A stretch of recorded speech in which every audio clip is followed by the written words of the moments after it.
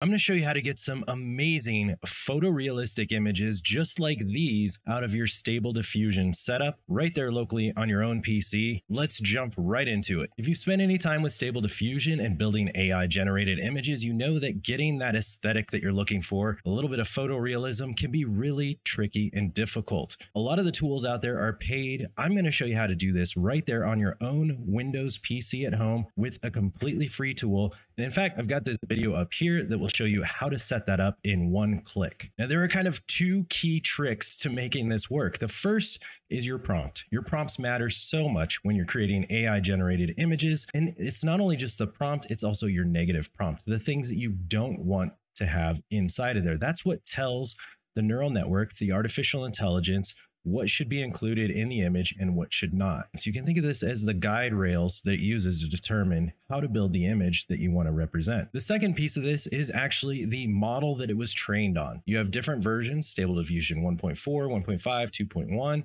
and they were trained on different data sets of images. Now, the really cool part here is you can take those base data sets, say Stable Diffusion 1.5, and you can layer additional images on top of it to have a specific aesthetic that you're going for, and that's going to change the output that you get from the model. The cool thing is, other people have already done this work. Let me show you. To start this, we're going to jump over to a website called civitai.com. CivitAI has a number of different checkpoint models you can download for free, and these have different aesthetics. They were trained on different image sets. So, what you can do is kind of just scroll through the website, find a look that you're looking for, and then download that file. In my case, one I found that was really cool to me was this stably diffused wild mix. And if you look through it, it has some really cool aesthetic. A lot of those really bright colors, a lot of like RPG. It's just a really nice aesthetic. Has that also that high contrast, that that look that you get from systems like Midjourney and Lexica. All you have to do is go up here to the upper right hand corner and you download. Download the latest 1.99 gigabytes. That's the file that you're going to want here. Now download that to a directory that you can access with Invoke AI, and we're going to jump right over into that UI next. Now again, if you haven't installed this already, I've got a tutorial on how to do that simply and easily. But for this, I'm going to assume that you've already got this installed. What you do once you get in here is you go up to the model manager. You click on this icon and it's going to show a list of available models and you're going to click add new, add checkpoint safe tensor model, and then give it the path to the folder that you downloaded that checkpoint file to. Once you do that, you can click this refresh button. It's going to scan the directory and it's going to give you a list of all the models that you have available.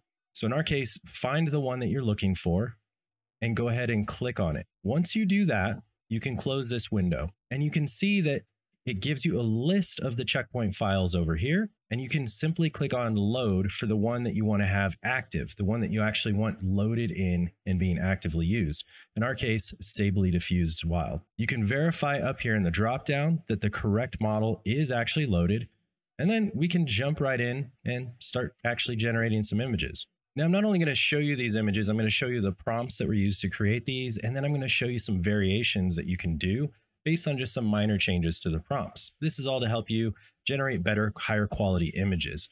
So we can take a look at a couple of these images and you can see they're highly photorealistic. Now, if you go up here right above the image, you can see these little quotes. That's the prompt.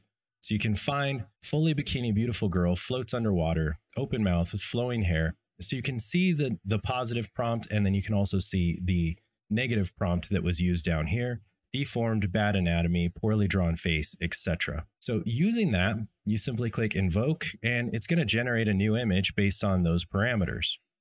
And it should be something relatively similar to the image we just saw based on the same prompt. And you see, again, very highly detailed, just a beautiful photo overall. We're going to go ahead and delete that one. Similarly, you can do the same thing with animals. It's not just beautiful women. This is actually being used for landscapes, cars, animals, you name it. So we've got a couple of really cool pictures of cats here, and we can pull up the prompt. And this is a much simpler prompt, a cute kitten made out of metal, cyborg detailed. So this one was interesting because when I copied this prompt from the website, there are a couple things you actually have to change. And you'll notice this in the disclaimer down here. Sometimes, and you need to read this on the different websites that you're using, The syntax of the prompt will either be invoke AI, it might be automatic 1111, it might even be Midjourney. The syntax changes based on which system you're using. So if somebody has a plus in their prompt, that's the same equivalency of you using brackets.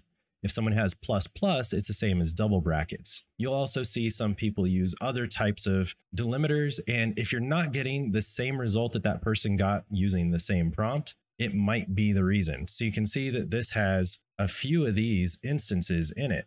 So this should actually have a plus. This should have a plus after it. We'll take off the intricate details and this should actually make a difference. So we'll pull this up and we'll see if we get a slightly different result. We do, definitely. It's a metallic cat. It's pretty interesting. All right, for this next image, we're going to take a look at this beautiful picture of a woman. This had the same issues as the one before it. When I first copied the prompt from the website, it had a bunch of brackets and such that just simply aren't recognized by Invoke AI. Once I removed those, I started getting the results that you would expect, and it's pretty much repeatable almost every time. You can see you get really highly detailed kitchen in the background you get this nice, lovely aesthetic and a beautiful photorealistic face. Now, this one's really interesting because by just changing a couple of the keywords in the prompt, you can get vastly different results. And I'll show you what I mean here. So we'll go ahead and invoke this, and we should get back a very similar aesthetic to that last image. And as you can see, we do.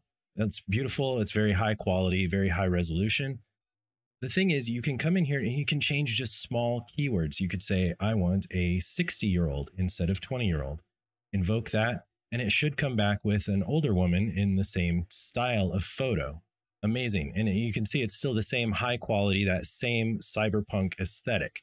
Now, what you can do is you can say, okay, instead of a future cyberpunk city, you can just say in a city. So now we'll get a six year old woman in a city. We'll go ahead and invoke that one. Now let's change the city background. We can go a little bit further and we can take out futuristic and sci-fi. And let's say we want a 30 year old woman. Go ahead and invoke that. And we should get back an entirely different aesthetic. Now this still has that cyberpunk aesthetic. And if you'll notice, I missed one of the keywords here. So we took out all the sci-fi and the futuristic words, but we didn't take out cyberpunk. So let's go ahead and remove that and invoke this one more time to see what it comes back with. Now I'm guessing this won't be so futuristic looking. Now you get a photorealistic woman and it looks like a photo shoot with that nice bokeh in the background, that depth of field you would expect from a real image. Now, what if we wanted to take this image and we wanted to create a higher resolution copy of it? What you can do is you can come up here to the menu and say send to image to image.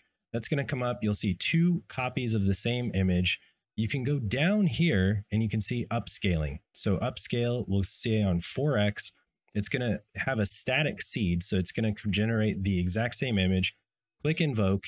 And in just a moment here, you should have the exact same image, but at four times the resolution. So it'll just be much higher quality. You can pop that out in the viewer and you can see here that it is indeed four times the resolution and it looks much better. Now, as I said earlier, this doesn't just apply to women and animals. You can also do things like cars. So let's play around with this prompt a little bit. You can see we've got this, again, this kind of cyberpunk car. Let's load the prompt up. And it's a SW Punk synthwave paint splatters. These are trigger words. So if we go back over to the website, you can see that in the model, there are trigger words. These trigger words change the aesthetic that it, it paints with or change the aesthetic that it draws the images with. So you can see model shoot style. That's what we used for the last few. SW Punk, Synthwave, and Paint Splatters. These give it that more sort of neon, cyberpunk, futuristic video game vibe. And so if we go back, you can see that's exactly what we get here. It looks like Cyberpunk 2077. So when we invoke that, you should get that sort of stylized look there. And that's exactly what we get back. Now, what if we took off all three of those in the prompt and we just have the highly detailed futuristic concept car in elaborate cyberpunk city? So it's still going to be in a cyberpunk city, but it's not going to have that stylized look of those last couple. And you can see here that changed quite a bit. It's not so bright and neon anymore. Now, what if we take out cyberpunk and we just have elaborate city and now when we render this, you should get back a vehicle in a more modern day or average city that you'd expect. And yes, this one still looks modern, but it's a nice concept car. We can do that again just to see what we come back with one more time. And there you go. Pretty cool. This one's pretty trippy. This is a landscape generated in the same image style. So you can look up here. Again, it has those trigger words that we saw earlier. So we can take those out and then you can see a crazy alien landscape with giant glowing mushrooms and colorful moss growing. So if we take out those stylized options, let's see what it comes back with.